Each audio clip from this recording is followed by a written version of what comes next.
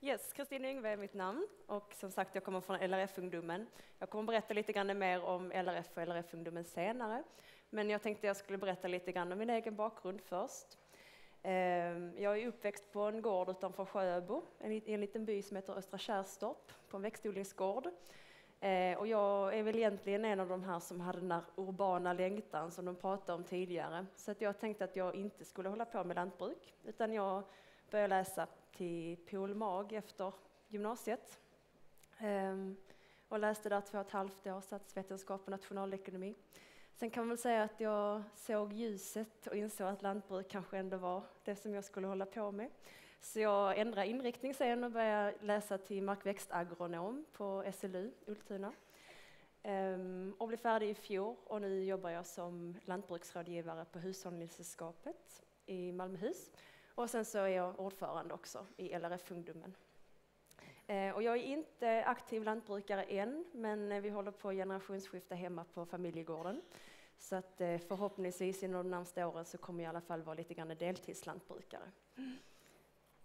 Ehm, LRF, ifall man inte är så himla insatt i LRFs arbete, så har vi 170 000 medlemmar.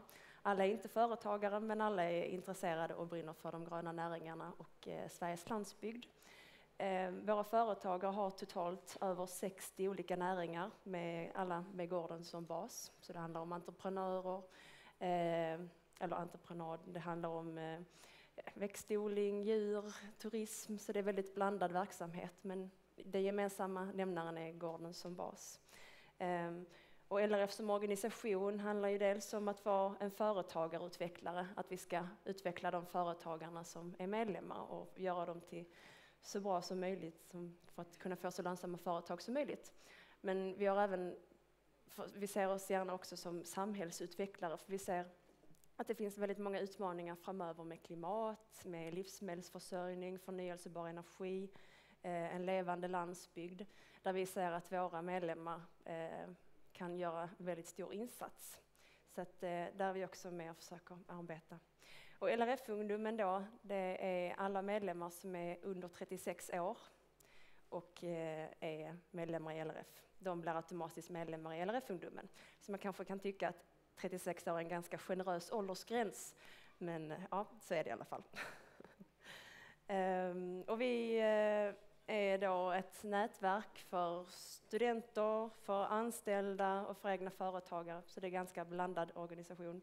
Eh, och det är ett nätverk med studieresor, vi anordnar utbildningar och olika sociala aktiviteter då, ute på landsbygden Eh, för att skapa gemenskap och, och stärka företagarna och även få de som inte är företagare än att kanske vilja bli så småningom och ta, våga ta steget. Um,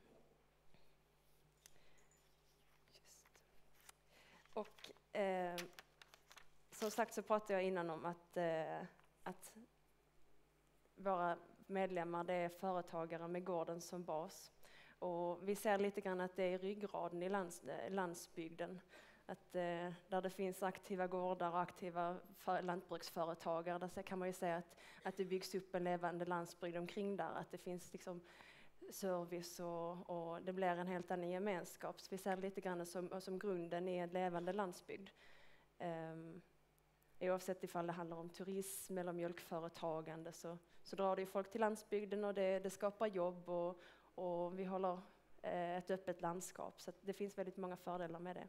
Men som vi ser idag så finns det ett litet problem och det är att eh, medelåldern på de som är lantbrukare idag börjar bli allt högre. Ehm, Ja. Om vi skulle gissa, vad tror ni? Vad skulle ni säga är medelåldern på de som äger jord? 60, ja. Det var väldigt nära för det är ungefär 57-58 år för de som är, äger jord idag, åkermark. Så att det är ganska så alarmerande siffror. 22 procent är över 65 år och bara ungefär 5 procent är under 35 år. Så ska vi ha någon som håller på med lantbruk i framtiden så, så ser vi att det måste hända någonting. För att annars så, så eh, blir det inte så många som kommer vara aktiva lantbrukare och vara den här ryggraden i eller landsbygden som vi har pratat om. Och det arbetar vi väldigt mycket med i LRF-ungdomen just nu att försöka hitta de här framtidens företagare och få dem att vilja, att vilja bli lantbrukare. Och vad är då problemet som gör att det är så här få lantbruk, eller ja, få eh, som brukar jorden och är under 35 år, man ska säga. Eh, delvis är det väldigt kapitalintensiv näring. Eh, I min hembygd, eh, där kostar det ungefär 300 000 per hektar att köpa åker. Eh, ska man ha det som heltidssysselsättning så får man nog komma upp i en 250 hektar för att man ska kunna.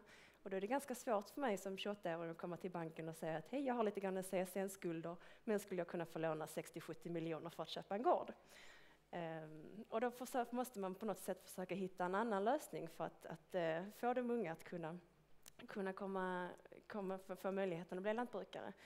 Å andra sidan så är det väldigt många äldre lantbrukare. Det är så väldigt förknippat med tradition och kultur att vara lantbrukare. Man bygger upp hela sin identitet kring lantbruket. Det är inte bara ett yrke, ett företagande, utan det, det är ens liv som lantbrukare.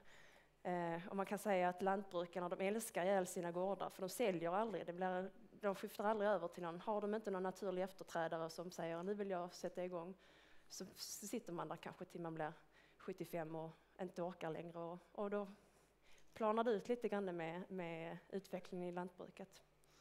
Um, så att det finns väldigt många som mjuka, mjuka värden att ta hänsyn till också i den här generationsskiftesproblematiken. Så vad kan vi då hitta för lösningar på det? Eh, vi har dels de äldre som, som har sin gård fast kanske inte har någon generationsskifte till. Och vi har de yngre som inte har någon naturlig gård att ta över och inte har kapitalet att köpa någonting eget.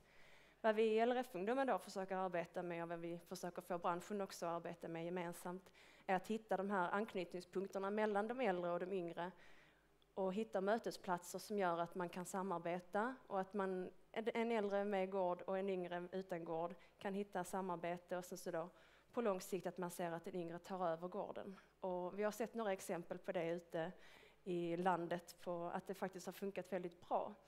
Um, och det hoppas vi väldigt mycket på att, att just den här anknytningen mellan den äldre och den yngre och den kunskapen som finns, en form av mentorskap, att det förs vidare till de yngre och att vi därmed kan få liksom en levande landsbygd och ett, ett uh, utvecklat lantbruk. Um, sen så några, några andra funderingar som, som vi som unga diskuterar lite grann, det är ju eh, eh, tillgången på åkermark. Det kanske inte är hela Sverige som det är så aktuellt, men just för oss i Skåne så är det ju ganska aktuellt med, med eh, att det byggs ganska mycket på åkermark. Och det är en väldigt intressant diskussion det här med att, att framtidens åkermark, hur, hur ska man med riksintresse hur ska vi kunna skydda det? Är, det? är det bra att ha det som riksintresse?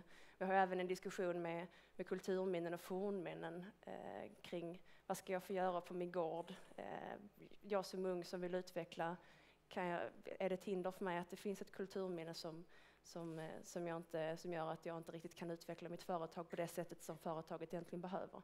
Så det är en intressant diskussion som finns.